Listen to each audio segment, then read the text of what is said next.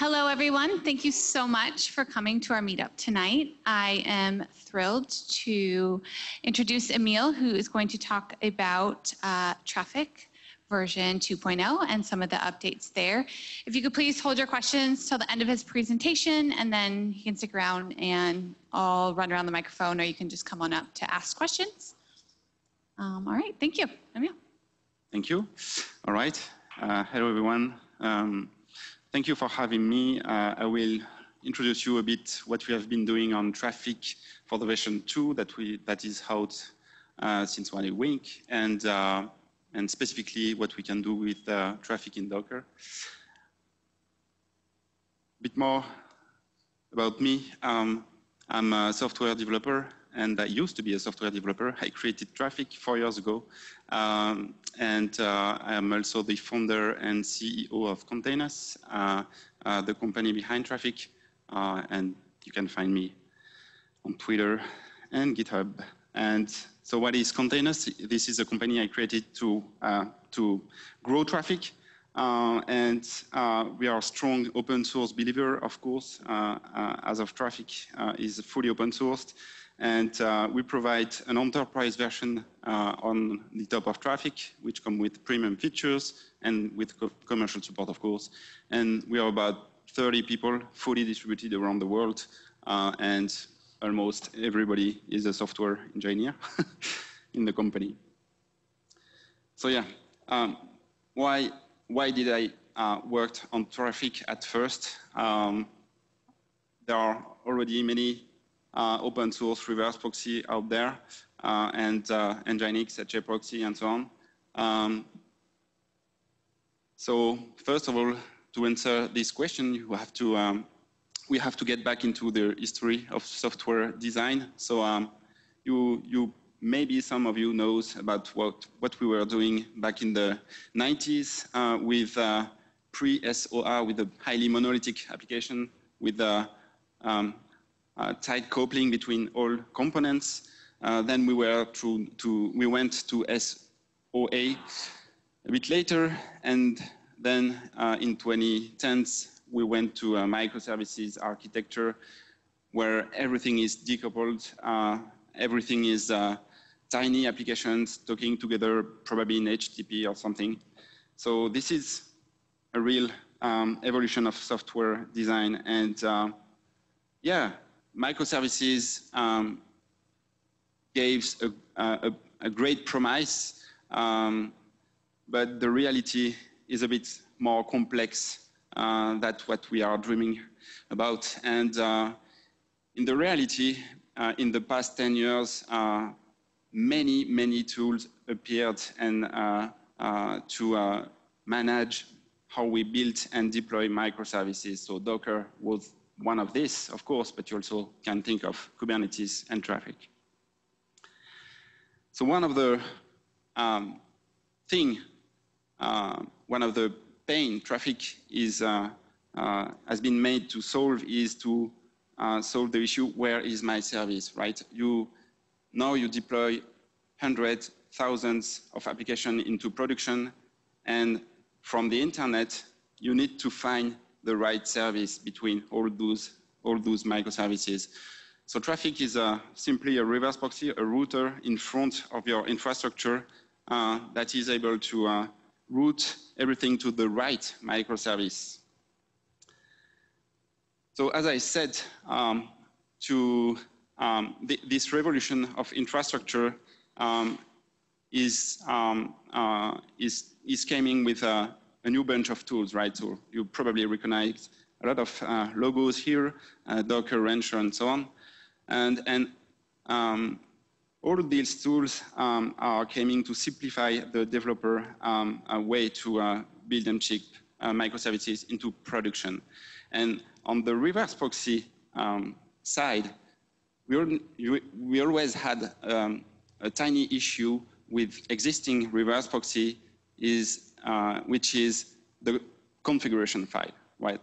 Uh, with traditional reverse proxy, you had to configure the routing with a configuration file. And if you had 1,000 routes, you had to configure a 1,000 routes configuration file and so on. And so each time you deploy a new microservices in your platform, you had to edit a configuration file, a huge one, and um, restart or reconfigure your reverse proxy. And the idea behind Traefik is um, why don't we just remove this concept of configuration file? So here comes Traefik. Um, this is the main concept behind it. Uh, so you might recognize a reverse proxy in between the internet on the left and your infrastructure on the right. And the idea of the of the basic reverse proxy is to route incoming requests, uh, for example, using a domain name to the right microservice, right? And um, the big difference with Traefik is that uh, it's able to connect to the API of your orchestrator, of your, uh, on your infrastructure, um, just to, to uh, guess where are your microservices and what are the microservices deployed on it, right? So just to give you an example, uh, Traefik can be connected to Docker, to Swarm, to Rancher, to Kubernetes, and so on. And each time you deploy a new application here, Traefik will know it and will uh, be able to configure a routing to this application. So basically, it delegates the configuration to application instead of having a big centralized file, uh, which is a pain to maintain. So what's uh, behind the Traefik project? So uh, as I said, uh, we just um, passed the four years uh, of, uh, of the project. so it's written in Go, like Docker, for example. it's uh, MIT license. Um, it's getting a huge traction uh, with more than 24,000 stars on GitHub, uh, which is uh, really one of the top biggest Go projects. Uh, we just passed 1 billion downloads on Docker Hub. Uh, and just to give you an idea, there are only 10 projects in front of us in official images like MySQL, MongoDB, Redis. Um, we have more than 400 contributors on the project, so I, I don't need to say that it's uh, really active. Uh, and yeah, so it was uh, created in 2015, and we just released um, last week the version 2. And what, what's inside, right? so just a quick overview. Um, to give you more details, we have been working on it uh, during more than one year with a full team on it um, inside the company. And um, uh, so we don't need to say that we have uh, revamped everything from the documentation to the uh, internal uh, structure and design of the software, right? Um, so yeah, we've revamped the documentation to make, to make it more easier to understand. Um, we changed a bit how we configure Traefik. We clarified some concepts. Um, we have a new expressive routing rule syntax I will show you a bit later. And on the top of this, we have, we have really interesting features like middlewares. Middlewares are uh, um, tiny uh, codes that can uh, modify or change the incoming request, right? And you can change, you can chain middlewares together. Uh, so you can have multiple modifications on the same request. So that's super interesting and powerful. We now support TCP, uh, which was one of the biggest um, um, uh, requests from the user base. Uh, so we not only are uh, L7 uh, reverse proxy, but also L4, which is uh, really powerful. And the beauty of it is that we also support SNI, so based on the host name in the TLS certificate. And so we support SNI routing, and we support listening on TCP and HTTP on the same port at the same time. So that's the beauty of it. You just open one port and you have everything on it. Uh, we have added some um, kind of useful features like canary and mirroring. Uh, so that's super interesting. Canary, you probably know, well, you probably already know what it is. You uh, decide to send, uh, let's say, 5% of your traffic to uh, one server and the, and the rest on the other server. so it can be useful if you want to deploy a new version uh, of your application and you want to test it. Uh, and mirroring is super interesting if you want to debug what's going on inside uh, your infrastructure. You just send exactly a mirror of all requests sent to one server to another, and you can use them to, de to debug. And this is just a quick overview because the real um, uh, release note is uh, so huge it does not fit inside one page. So let's dig a bit more in uh, the core concept. Uh, so like I, like I said, um, this is basically what a reverse proxy does, right? Uh, routing incoming requests to the right microservice in your infrastructure. Um, and the idea with Traefik is that it dynamically discovers traffic tra uh, services because it's connected to your orchestrator uh, natively. So let's dig into the architecture. Uh, so basically, you have uh, in Traefik entry points, which are basically the port, the listening port. You have routers, uh, which are basically um, uh, applying rules, matching rules. So uh, is my request match uh, these rules? I will apply this middleware and I will route then to this service, right? This is uh, basically what routers does. And service um, basically is a bunch of servers where you can do some load balancing, some mirroring, some canary, right? So these are basically the three main concepts to understand uh, to make Traefik v2 work. It's pretty basic. So entry point, as I said, it's just listening port. So uh, if you have three, three entry point on port 80, 3, uh, 443, and 8081, uh, you will basically have three, three entry point. Right? Routers, so that's a bit more uh, advanced concept. So as I said, routers are, are here to, first of all, match rules and match requests against rules. And then if, if requests are matching, uh, they will send the request to a middleware chain and then to uh, a service, right? So for example, uh, on the router one here, we have just one rule.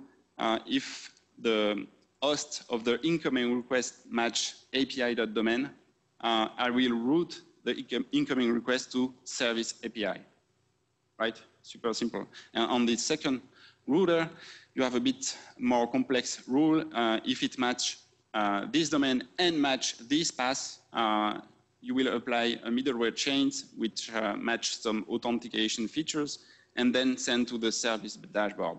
So basically here on the same port, um, uh, sorry, on two different ports, on entry point one and entry point three, uh, you will be able to access um, API.domain and access to a service API and on the second port, uh, you will be able to access eventually the service dashboard if you uh, authenticate uh, against the middleware, right? So that's basically what it does. So middlewares, um, let's dig a, a, bit deeper in here. So as I said, you can chain middlewares together. So for example, you can have the first middleware to uh, check authentication. You can have the second middleware who rewrite uh, some part of the request, and we can have the third middleware who uh, rewrite a part of the um, um, a part of the uh, uh, query, for example. And then after all this chain is applied, it will route the request to the right service. So that just something to apply some changes to some requests. And then services. Um, so services, as I said, is just a group of server, right? Backend servers. And you can apply some load balancing rule uh, on these uh, servers or stickiness with stickiness, or you can apply some canary or some mirroring or these kind of things, right? So all together, again, uh, it's quite simple, three concepts, and you're quite simple. I see some heads shaking. uh, and uh, uh, I mean, it's quite simple for uh, ruling systems, and it's super powerful. That's the main idea. And then the last thing you have to understand to uh, make Traefik work, you have two kind of configuration, right? the first configuration is static, so you configure Traefik uh, with a static configuration when you launch Traefik. So when you launch Traefik, you will say, for example, uh, you should listen to the Docker API, uh, which is here. Here is the socket of the Docker API, and this is a static configuration that will never change uh, uh, until Traefik is stopped, right? It's static. But you also have a dynamic configuration and you can change the whole routing systems when you want, right? So the routers, the service, the middlewares, the certificates, and so on, all this is dynamic. So you can change once Traefik is uh, uh, launched and you can change wherever you want, right? So this is uh, the two main type of configuration, pretty straightforward. So let's see an example with Docker. Uh, so uh, we want to connect Traefik to the Docker API uh, using a socket, right? Uh, so you, we want Traefik to listen to every Docker uh, event on the socket, and then we want to um, load balance the incoming traffic to several containers deployed on your Docker, uh, with your Docker daemon, right? So let's see how it works with the Docker compose file. Um, all right, so you just deploy, uh, first of all, the reverse proxy Traefik, uh, and all you have to do is um, provide one argument, provider.docker, and let, then you have to mount uh, the Docker socket, the Docker socket, right, onto the container, and this will allow uh, Traefik to access to the Docker uh, API and then you expose the port 80, which is by default uh, exposed, I mean, by default used by Traefik if you don't configure anything else. And that's it. So it's pretty straightforward.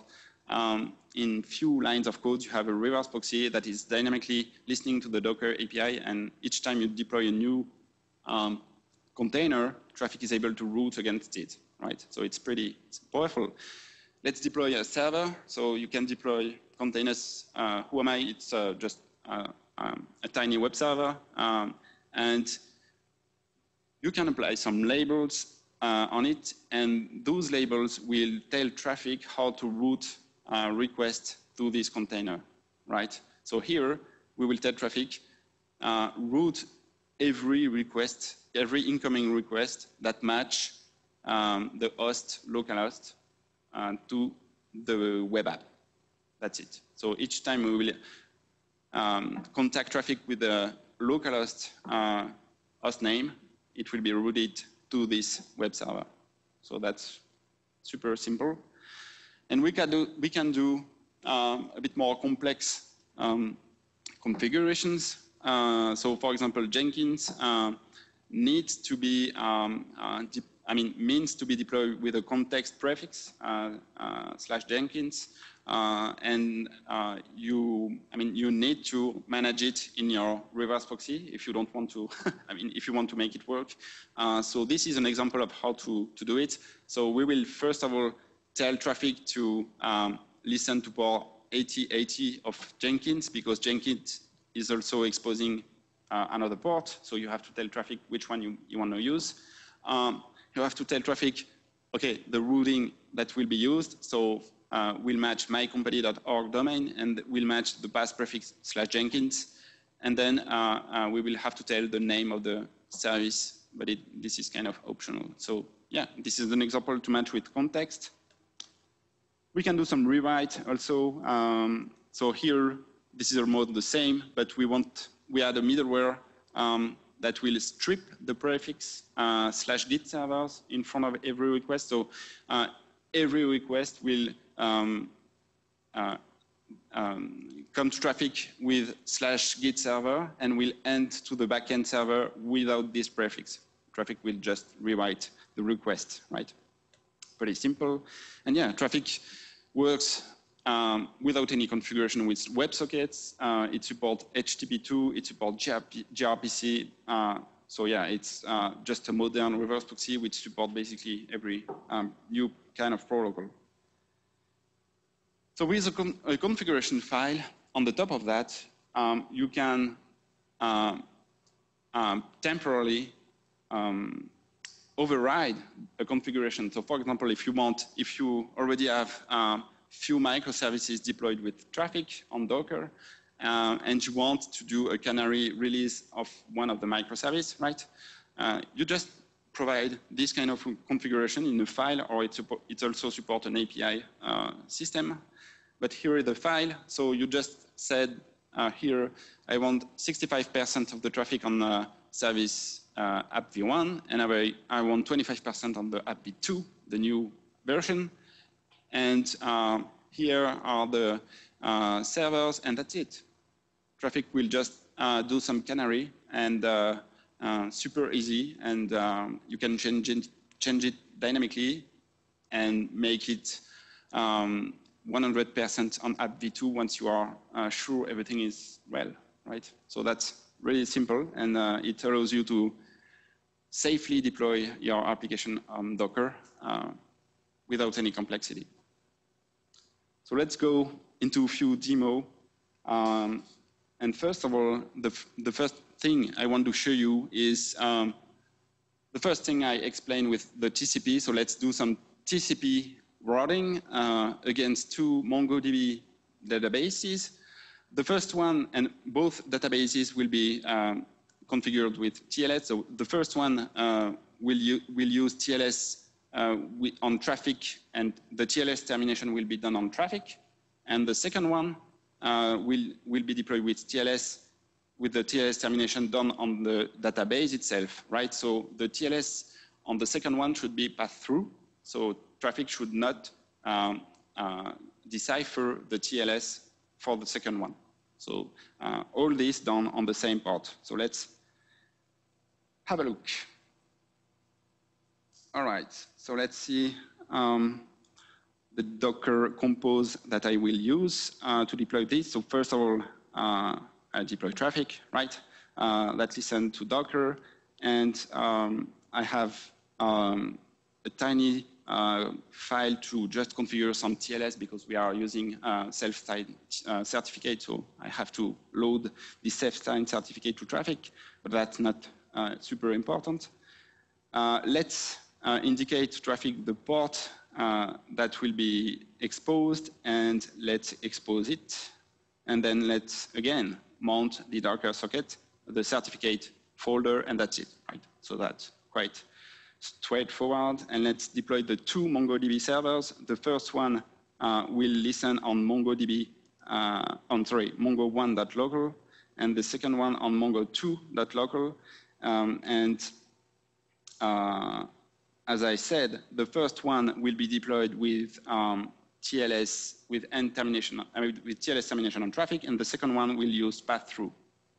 So you just have to uh, tell Traefik using labels, okay, here is one, how I want to configure the TLS termination, and it's super simple. I mean, just one line, you decide if you want to do the TLS termination or not.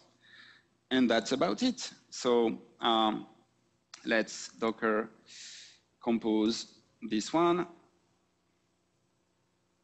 All right. So I have a bunch of things and uh, let's, um, let's test the first uh, connection. Right. So let's just connect uh, to mongo1.local on port uh, 2707 and see how it works, and it works. So here we connect it to uh, the first database using Traefik, and um, Traefik is doing the TLS termination, right? Uh, so let's see how it works. So uh, show uh, DBs, right? We have three um, databases. Let's create one, and let's insert something in this database. Here it is, and let's uh, stop right? So now let's connect to the second MongoDB server. So we connect on the same port, 27017, right? Because it's Traefik which is, uh, which is multiplexing everything. And this time we will connect to it um, using TLS2, but TL, uh, Traefik is not uh, doing TLS termination anymore. Uh, the TLS termination is done on the database MongoDB itself, right? So Traefik is doing some TLS path through. And let's see if we have some DBs here, and you can see that uh, the DB I created on the first server is not here because it's a different server, so everything works. right. All right, whoops.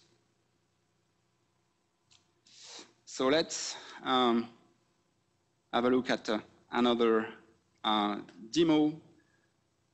This time I want to um, use on the same port, I want to mux HTTPS and TCP uh, connections, right, on the same port.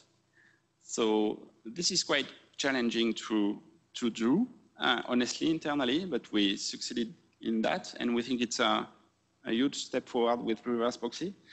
Um, so let's see, whoops, let's see how it works um, internally. So I will just switch to another demo. Um, Docker compose up the stack, and let's see what's inside um, this Docker compose, right? So still Traefik, same uh, configuration, right? Listening Docker, certificate, so on. We um, uh, still have our two uh, MongoDB servers, uh, Mongo 1.local, Mongo 2.local, right? And this time, so both in TCP and TLS, and this time we have a new uh, web server, Mongo Express, which is uh, basically a web server and a, a UI in front of Mongo uh, DB. So we will deploy this web server and uh, with this kind of rule, so we will listen on dashboard uh, Mongo 1.local and we will do the TLS termination on Traefik, and that's it. So that's, let's see um, how it works. Uh, so again, um, I will try to connect to uh, the first MongoDB server. Let's see how it works, right? So show DBs. So you, we, we still have three um, uh, databases. Uh, so let's create another database uh, and let's insert again another entry and let's exit. All right, so let's connect to the second server. Of course, we will only have three databases like the first time. And now uh, let's connect to um, Mongo open link. I, I don't know what, where it opened, but let's, okay, it's here. Uh, okay, so it's a self-site certificate, so I had a warning, but we get it. Uh, and right now we see that um, our web server, so just to explain what's going on, uh, here we are uh, going through the HTTP web server on the same port, 27017, and it's HTTPS, right? So uh, Traefik is able to uh, mux everything, and uh, we see that uh, we have the uh, database I just created uh, with the right entry traffic, awesome, right? So it works. All right, where is my, okay, I think I just, sorry for that. I just lost my, let's get back to the demo slides. All right. All right. So let's now see how our, our third demo and let's uh, see how it works. Uh, a canary, a simple canary release, there is typo, sorry. um, so first of all, let's uh, Docker compose down everything. And let's go to the canary demo. Uh, all right. So just a quick overview of the configuration. So we have, uh, yeah, a time, I mean, we have a, a pro, uh, Traefik deployed um, with uh, a provider file. So this time we can configure Traefik uh, just for the demo with the file, right? Just uh, it's not obviously what you want in reality, but it, just for the demo, it's simple. So basically, it will listen to dynamic changes uh, on this file, and each time you change the file, it will reload the configuration, and we will um, expose a dashboard because Traefik uh, also provide a dashboard, a UI. Um, so then we will have two, uh, we, we, will expose two ports, the 80, so this is a reverse proxy port, and the 8080, uh, which is by default the dashboard port. That's simple, right? Uh, and then we have two services. Uh, first, first service, I, which is, uh, again, the simple web server, and another one, which is Nginx, which is um, a web server too, but another kind of web server. And let's configure on the top of that um, a, I mean, a canary release between the two. So here is how it works. Uh, so on the host canary.docker.localhost, right? Um, uh, if we match this rule, we will apply these um, weights on these two services uh, and this will go on these two applications I, I, will just, I just deployed before, right? So let's Docker up everything. Right. So if um, everything works, I should uh, be able to access to, right? should be able to access to the first server here with this, uh, uh, with this URL. I should be able to access to the second server, right? And now with this domain name, I should be able to access to Traefik. And it should be doing some canary release. So let's refresh. Yeah.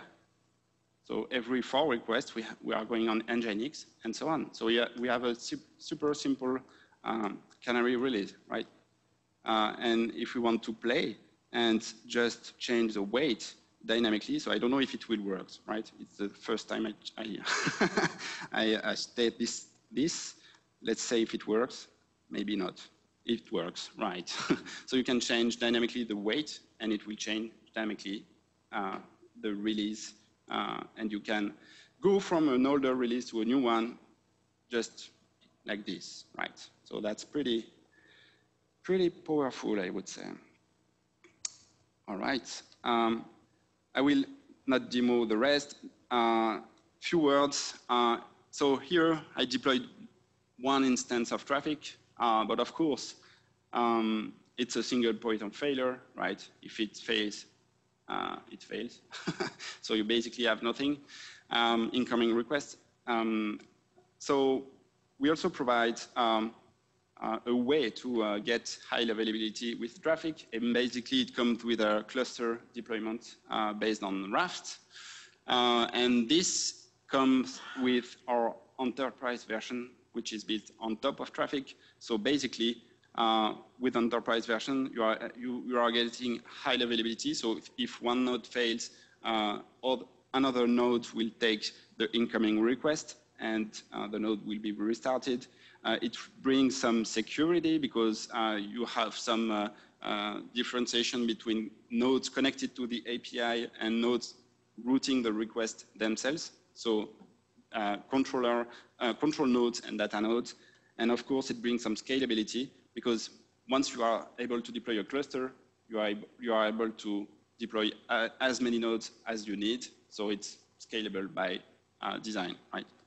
So yeah, it's basically uh, this architecture. You have a control plane, you have a data plane, everything is scalable, and uh, everything is highly uh, available, redundant, resilient, and that's uh, Traefik enterprise edition. So it's as simple as Traefik. To install it, you just use, uh, Traefik kernel that we um, created, and it installs on Swarm, on Kubernetes, and it, insta it installs a in one line, a cluster, and uh, uh, just like this. So it's kind of simple. You can try it here, and that's it.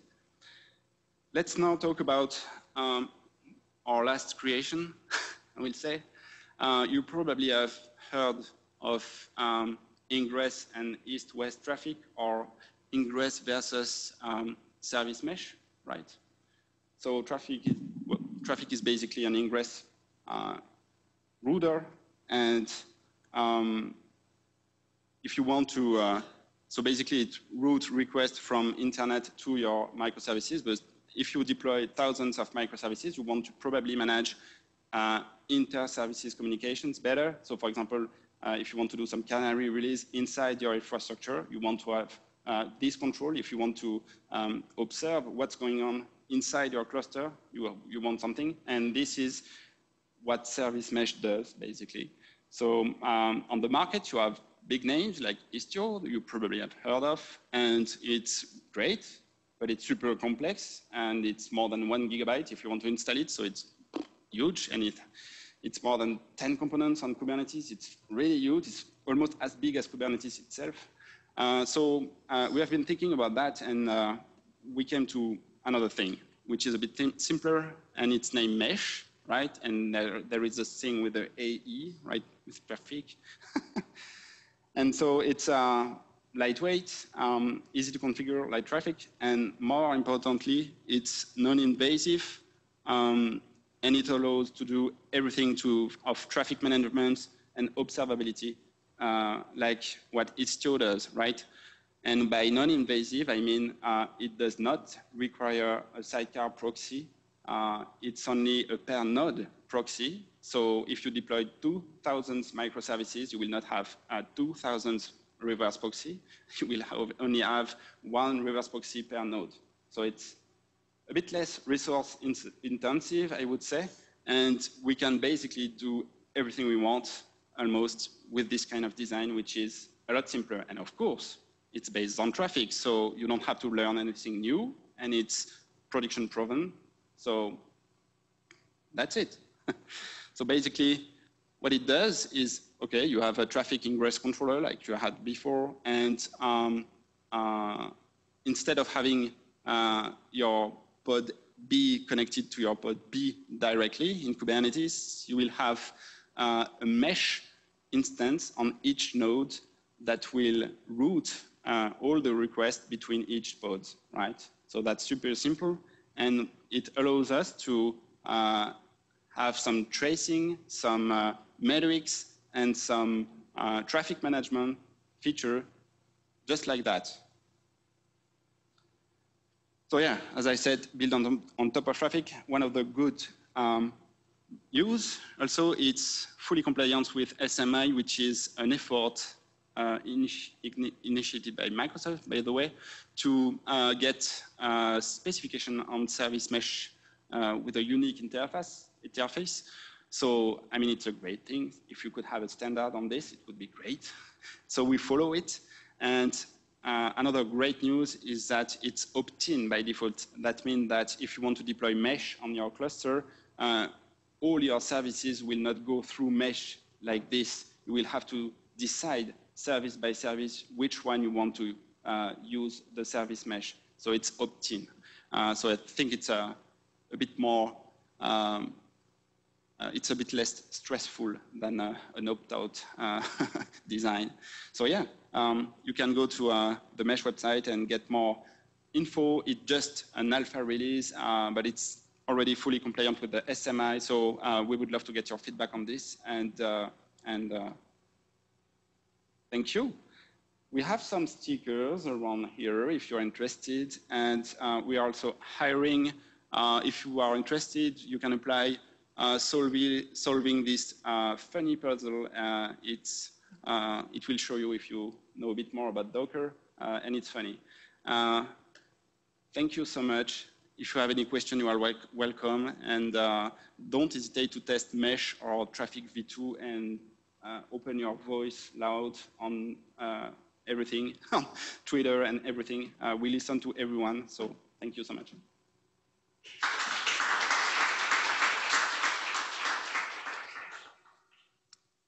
I don't know if we have any question. Yeah.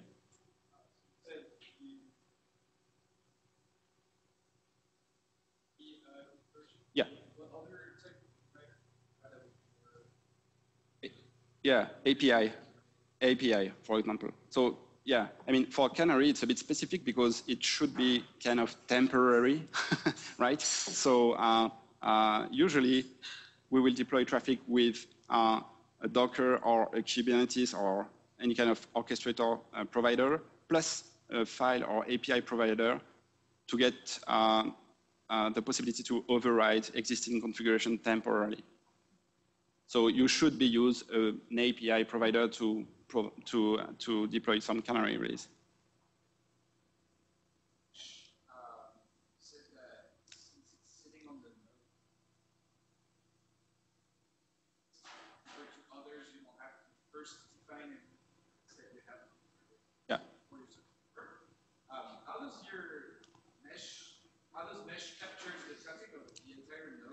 So that's an interesting question. How do we um, uh, intercept traffic? So basically, uh, others service mesh do terrible things like uh, rewriting, I, I, mean, injecting IP tables on the pod level, which is extremely complex and to me stressful. um, we have preferred to, um, so uh, it works on Kubernetes and we have preferred to make it work with CoreDNS, which is the default DNS uh, management system on Kubernetes. So we just inject some rules and that's it. So it's way more simpler, way more simpler design than Istio and way less stressful to me. yeah. Sorry?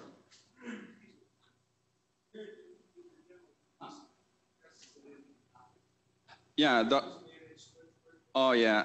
Uh, okay. Okay. The question is where uh, where does come from the uh, the domain names in the demo with localhost and local? Uh, so it just yeah it just um, uh, entries in my uh, AT host file just for the demo. So every time I hit every, something dot localhost, it ends up on my computer. That's it.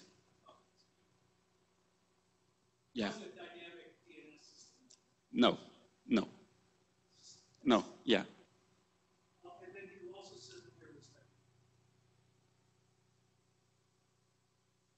So I showed you, for example, with uh, changing the canary release. So I changed the file dynamically, and it changed dynamically the configuration into Traefik without any. Uh, yeah, of, I mean, yeah, of, yeah. But another example would be uh, I could have deployed another Docker container and it would have showed uh, on Traefik dynamically, right? Because Traefik is listening to the Docker API, so knows everything going on on the, yeah. So yeah, basically you don't have any big centralized configuration file with all the routes uh, the root is delegate, the root configuration is delegated on each application, which is a lot better when you deploy thousands of applications.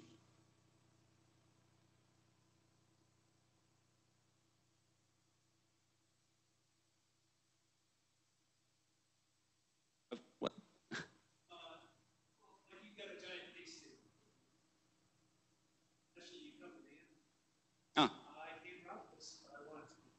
So a default route, something. Yeah, yeah, we can do this. Yeah. Yeah.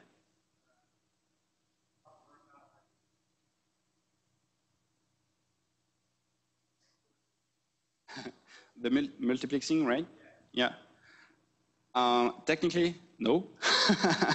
I mean, yeah, technically we are just uh, reading every um, um, request, every beginning of request, if we see that it's a, uh, if it starts to be a, a, TCP connection, we send it to an internal router, an internal TCP router, and on the other end, we send it to the traditional HTTP routing system. Yeah, that's it. Yeah, so that's really simple.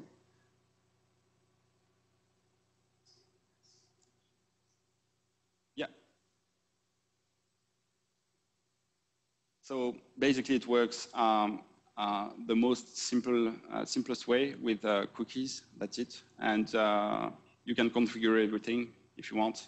uh, we are also working on a bit more advanced things like uh, um, hash routing or things like that, which could avoid cookie stickiness cookies. But uh, yeah.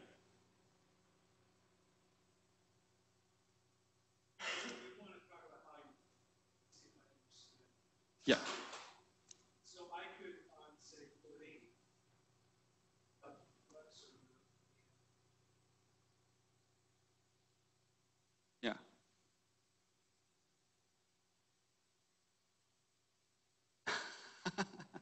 Yep.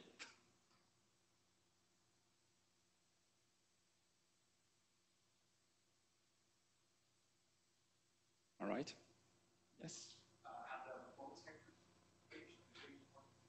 Um, so not really. Uh, so we met only early benchmarks, uh, to be honest, and we have not seen any major uh, change between. So uh, to be honest, we are not fighting on performance. We think that uh, as long as we have on par performance with uh, uh, the average, uh, I mean, I'm okay with that because the pain uh, is not on performance usually, but on how we operate it, how easily it is to operate and maintain it.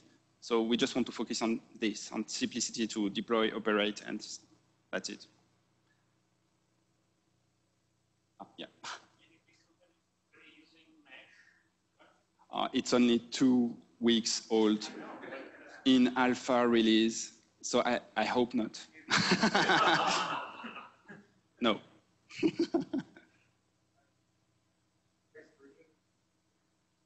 yeah, yeah. I mean, uh, using, so I, yeah,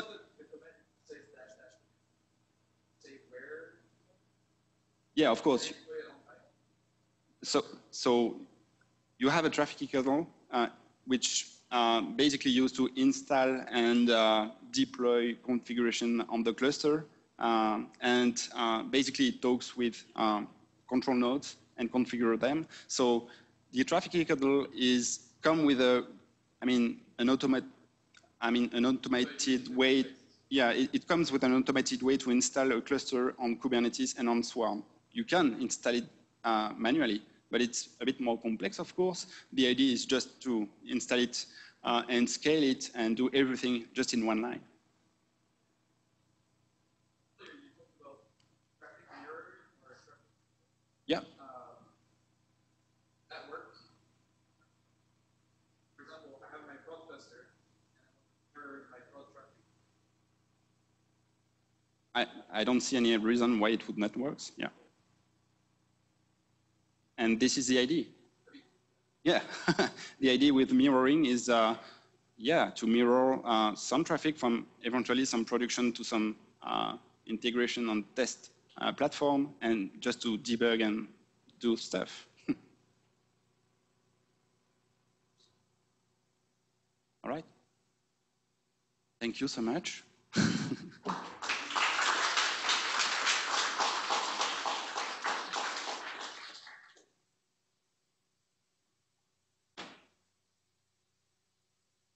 Right. Uh, our next speaker is Derek.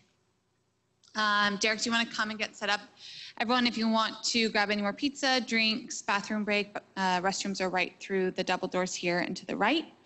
Um, and then in about five minutes, we will pick up with Derek on Containerd.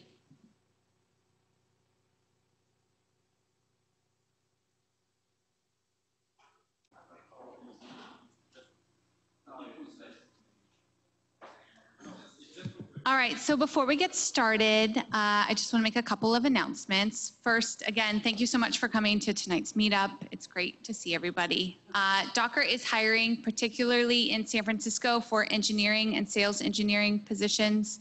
Go to our careers page, uh, see if there's anything interesting, you can always email me, Jenny at Docker, J E N N Y, at docker.com. Uh, anything community related, job related, any feedback from tonight. Um, and now, our second and last presentation of the night, uh, Derek from Docker, Containerd maintainer, and he's going to share Containerd updates. So thank you, Derek. All right. Hello, everyone. Uh, so as Jenny said, I'm Derek McGowan. I'm software engineer here at Docker. I primarily work on Containerd and maintaining Containerd. So I'm going to go a little bit on kind of some of the design of Containerd as well as some of the recent updates. Um, so for those of you who don't know what Containerd is, uh, we call it the container runtime. I put it in quotes because uh, I realize the term container runtime is confusing to a lot of people. A lot of things are called container runtimes. Docker is called the container runtime. Sometimes Kubernetes is called the container runtime. Uh, Kata containers um, that same confusion. So think of Containerd as sitting below the platform level. So it's sitting below Docker or Kubernetes. Uh, and it's sitting above these lower level runtimes like Kata containers or Firecracker um, or gVisor if you've, if you've heard of any of those. Uh, think of Containerd kind of as a, a, resource manager. It's managing all your container processes. It's managing all the image artifacts uh, that you might pull down from a registry. It's also managing the, file system snapshots uh, that are going to manage the rootfs of your container. Uh, it also has a lot of metadata and it holds the dependencies between all these objects. Uh, has a garbage collector that will manage all these resources for you. Containerd is also uh, very tightly scoped. Uh, we have a we have an API that's that's pretty limited in, in what its functionality is compared to compared to Docker, uh, and we we've kept that API or we've kept that that scope pretty small, and we require 100% maintainer approval before we would increase that increase uh, that scope. So that's only been done once in the lifetime of Containerd when we added the CRI plugin. So Containerd today, uh, we've graduated in CNCF earlier this year. Uh, we are the fifth project to do so. Uh, we have broad support across many different companies. Almost every major cloud provider is using Containerd in some way today. Uh, and we also have support for Linux and Windows. So the latest release of Containerd 1.3 uh, should be coming out in the next few weeks. Uh, we're in the RC period right now. Uh, what's new is we have support for our Shim v2 API on Windows. Uh, there's also a new Windows implementation uh, lower level runtime that we'll be making use of.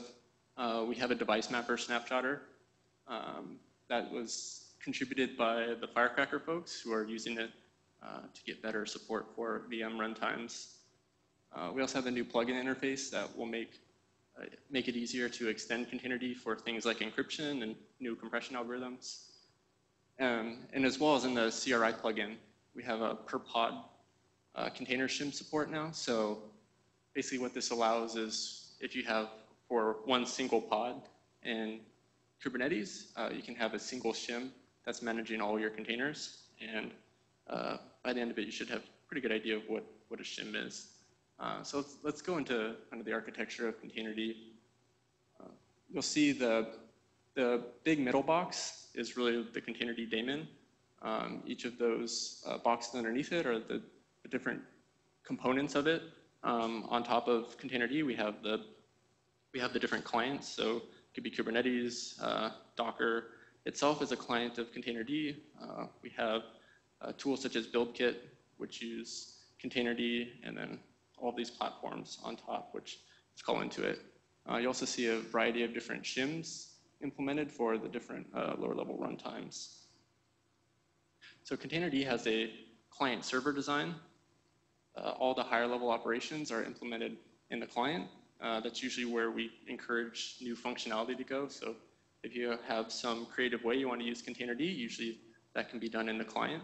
Uh, the low level, or the, the server is a little lower level, and the interfaces that, uh, that are there, uh, they're all exposed through uh, gRPC. So that API is stable as of 1.0. Uh, so you, you can trust, if you're implementing against that API, it's, uh, it's not going to change in Containerd 1.x. the Containerd backend uh, we have these service interfaces that gives you access to all the different components. Uh, so all these are, they're pretty low level. Uh, we wrap all those in a metadata store so that we can provide namespacing. Uh, so this allows, for example, Docker and Kubernetes to use a single instance of Containerd uh, without overriding each other's metadata or containers. Uh, so if Kubernetes were to pull a container down and then you're doing something else with Docker, uh, they wouldn't necessarily interfere with each other. And then we have snapshotters implemented directly in Containerd. So these will be uh, your familiar OverlayFS, Btrfs, uh, device mappers in there now. Uh, so these are all the copy on write file systems. Uh, they can be either union file systems or block device implementations. So device mapper, block device, there's a few other uh, community ones um, that you can find out there for uh, block device implementations. Uh, the snapshotters are also used to hold the, the read-write layer for your, for your container. So the rootfs will be able to find it inside the, the snapshotter. So we also have, we also uh, support Prometheus for doing metrics in Containerd. Uh, so unlike in Docker today, like there's different ways to get the container metrics. In Containerd, we're just using Prometheus, whether it's you're getting the metrics about the Containerd process or your individual containers. Uh, these are all exposed uh, through through that Prometheus API, so you can just attach your Prometheus client to it. Then I mentioned the Kubernetes support. So we have the um, we have a CRI implementation directly inside the Containerd daemon, so that you can you can have your Kubernetes kubelet talk directly to Containerd uh, without anything needing to sit in between. Uh, and the CRI API is actually is actually a service on top of the existing Containerd API. So there's no new endpoints. Um, there's no new endpoints listening uh, for uh, for CRI. It's just using the existing Containerd API uh, gRPC server. So from the daemon perspective, you think of it as we have a stable gRPC interface for interacting with the Containerd daemon, um, and then we also have the ability to talk to it directly from uh, Kubernetes runtime. So Containerd implements this smart client model. I mentioned kind of how we have these lower level components. Uh, so functionality can be implemented inside of the client. Uh, so our gRPC API kind of mirrors these, these internals that we have, these, these lower level services. Um, so things like snapshots, content, containers, all these kind of low level container primitives uh, are actually directly exposed to our gRPC API.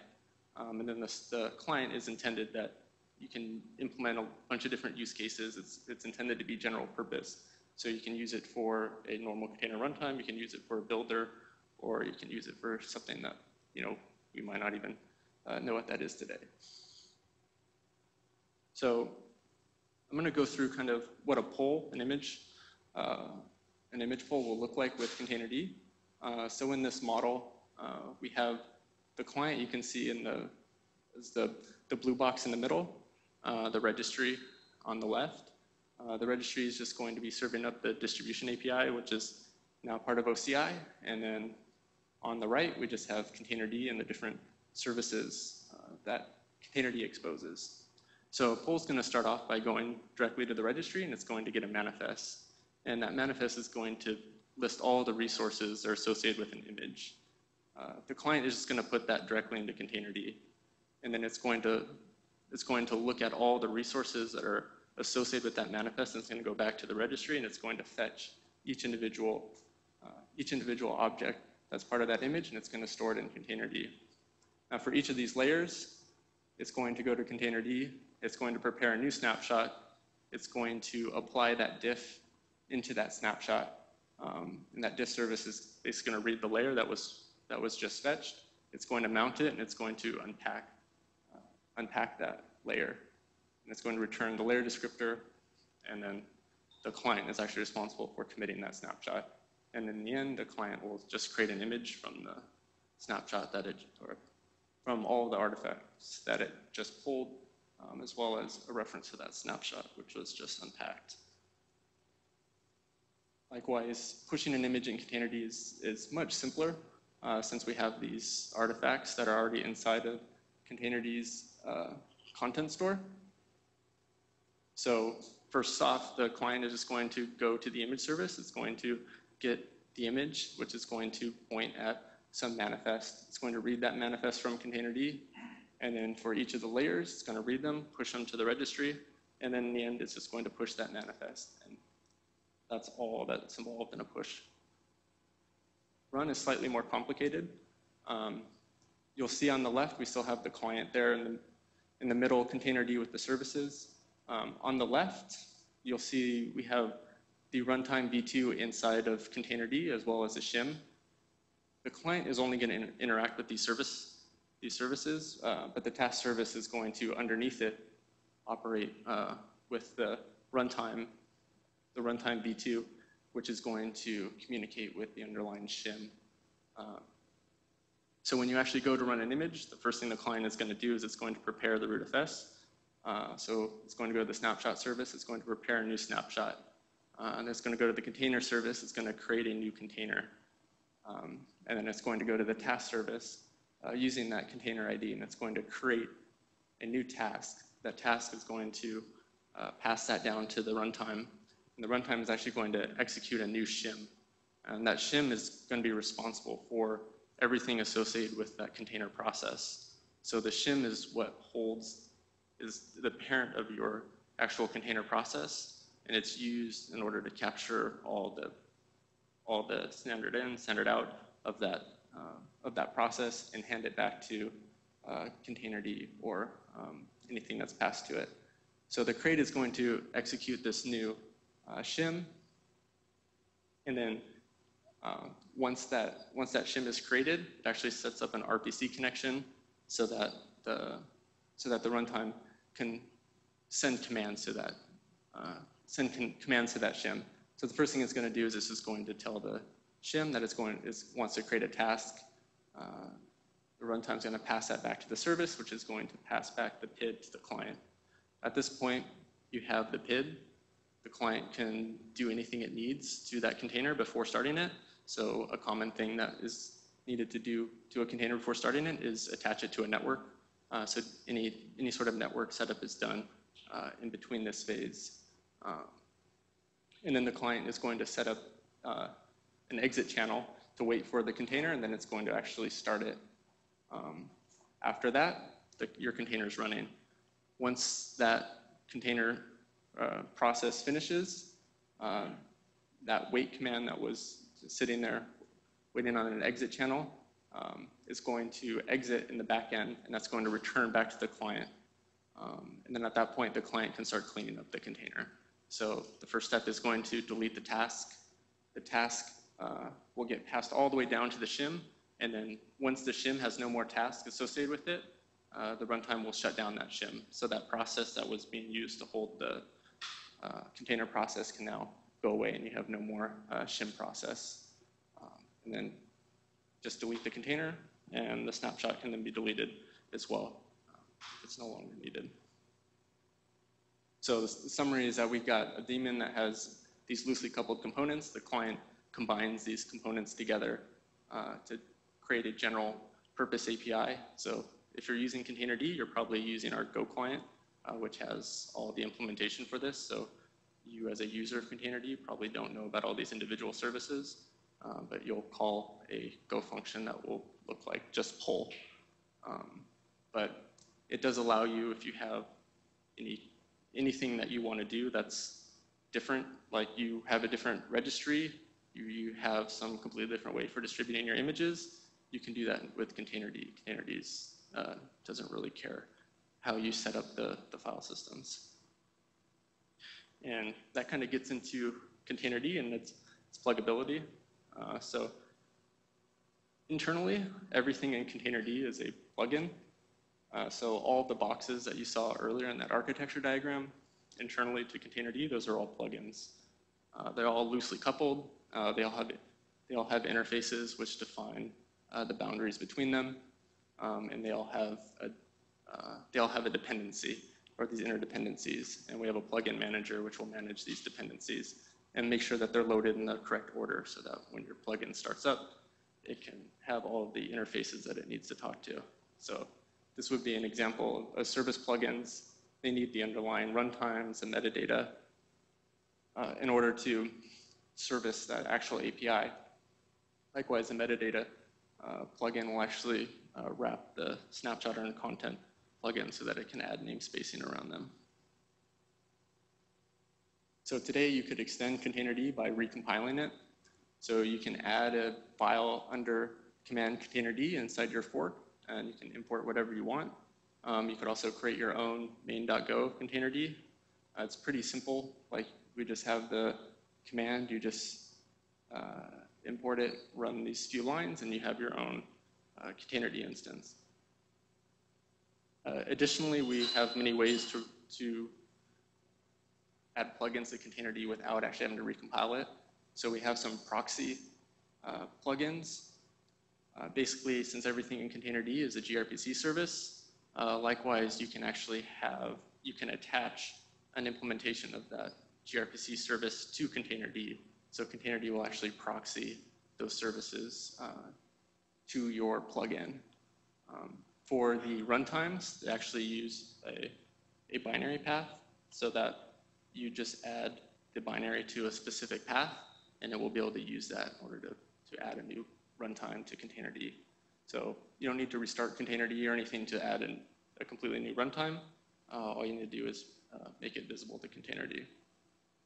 So let me go over an example of a snapshot or proxy plugin and see how it, uh, how it works. So this is, this is the gRPC definition for the snapshot service. Uh, it's pretty simple. There's not that many commands to it. They're mostly what you'd expect. Uh, you prepare a snapshot, um, you commit it, you can remove it, you can get stats. Um, update is mostly related to metadata. You can list them. So if you want to implement that interface and make it available to Containerd, uh, we have a configuration called proxy plugins. Um, what's on the left would be a, a uh, binary where you just take your custom snapshotter and you can make it listen uh, on any socket you define. You, def you configure containerd uh, to use that address and that's it. Like it's, it's, it's pretty small from the perspective of like what it takes to get the get this binary up and running. It's just a regular gRPC service.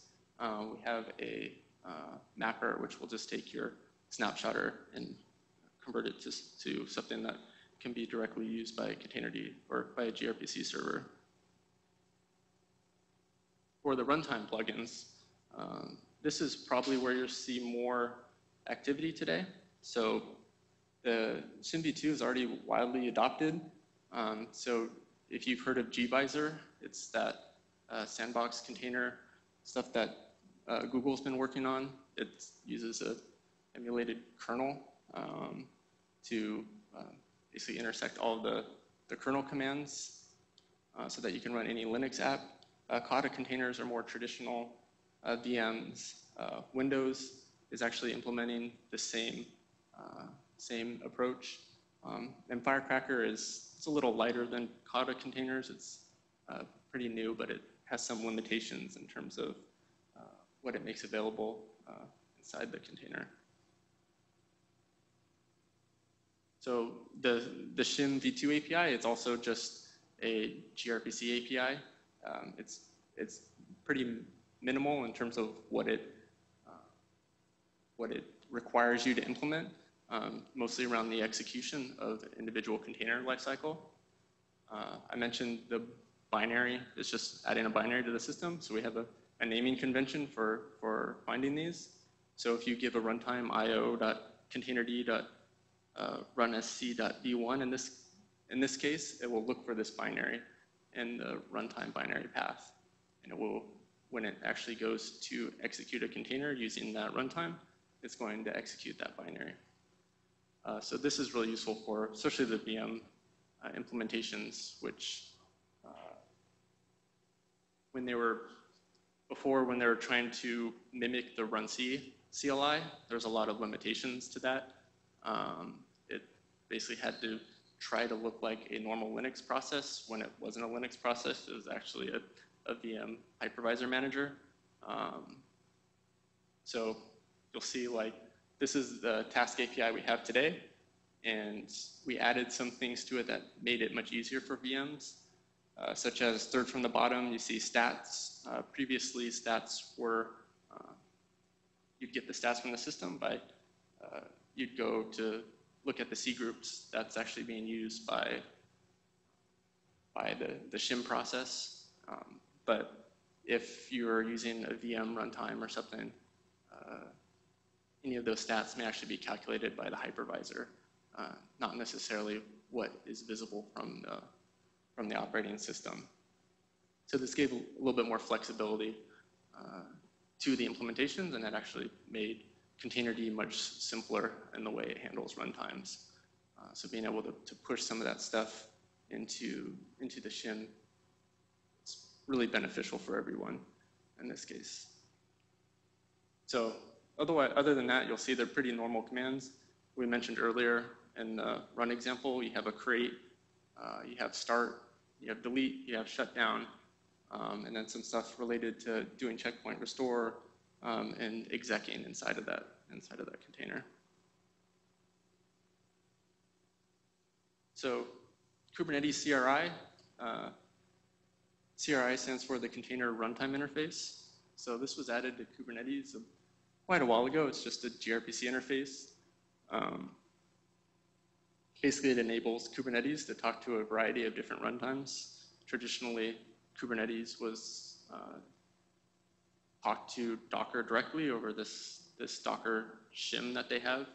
Uh, just use the Docker API, uh, but that made it hard for uh, other runtime implementations to integrate with Kubernetes. So they added this uh, CRI implementation to make that much, much easier.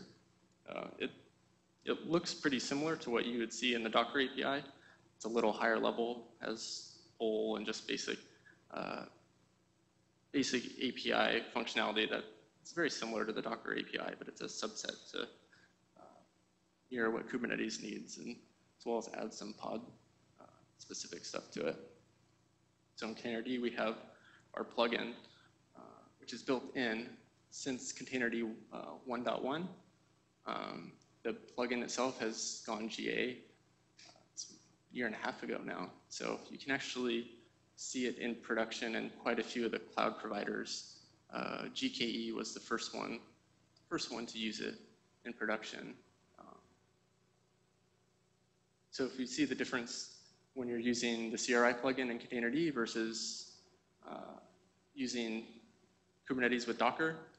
Uh, so today you're going to have, if you're using Docker, you're going to, uh, the kubelet's going to use a Docker shim to talk to Docker. Docker is going to talk to Containerd in order to uh, manage your containers, and then that's actually going to uh, spin up your containers. Uh, and this, when you're using the CRI plugin, it's just talking, kubelet can just talk directly to Containerd. Internally, the CRI plugin is, is itself a Containerd client. Um, so I, I mentioned how we have these service interfaces and how they they mimic gRPC. Um, so likewise, the CRI plugin can actually uh, both run outside of the Docker or the Containerd process, or um, when it's running inside of the Containerd process, they're just straight function calls from the client. Um, that's because in the the gRPC service just, services just uh, map to directly what we have underneath it. So CRI has its own uh, image service and runtime service, in its definition. Um, but additionally, CRI is going to handle things like um, what is a pod, what containers go in a pod. Uh, stuff like the pods container is not a concept that we have in the Containerd core that's used to hold namespaces and C groups open uh, so that when it's configuring, uh, configuring networking, it has uh, all of that open. Um, so the CRI plugin is just going to use CNI, um, but that's actually done in, only inside the plugin. Uh, you won't see anything related to CNI inside the core Containerd API. So if you want to use Containerd today on your Kubernetes cluster, um, probably already have Docker installed. Uh, so if you add this flag to Docker to enable the CRI uh, plugin, I think by default, I think we're still disabling it in our, in our Docker installs. Um, and then you just set these kubelet flags to talk to containerd. And then after that, Uh, the kubelet will just be talking directly to Containerd on your kind of existing setup. You can still use Docker uh, for everything that you use Docker for today. And that's it. Thank you, everyone.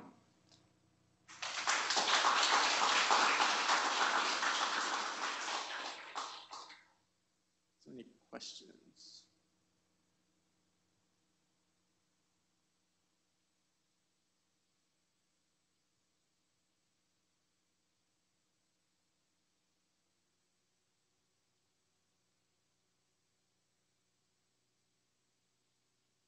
Well, so the roadmap itself is is pretty small in terms of like we don't have a bunch of uh, we don't have a bunch of like huge features that are going into it. Most of it's related to like bug fixes, or we're working with like in like different parts of the roadmap will be driven by specific companies. For example, like uh, Microsoft uh, and getting all the Windows support into CRI. Um, they're kind of driving that. So I wouldn't say we have like one unified roadmap. Um, for the most part, like different maintainers from different companies will kind of push forward on the different parts of it. So us at Docker kind of drive forward the different parts related to the Docker integration, uh, whereas like the Microsoft folks would actually push forward on the on the Windows integration. Um, the all the CRI stuff was originally from a team at Google, uh, so most of the CRI stuff comes from there, but um, there's also some contributors from, from IBM. So we don't really have like a, a unified roadmap for uh, like across all of Containerd, just kind of these different fronts where maintainers are mostly own that. It's Containerd is kind of in a position today where we have a lot of contributors, but everyone kind of agrees on what Containerd should be and shouldn't be. Um, so we don't really have a lot of issues with like large roadmap items getting like dumped on uh, the maintainers that we're, that we're trying to push for.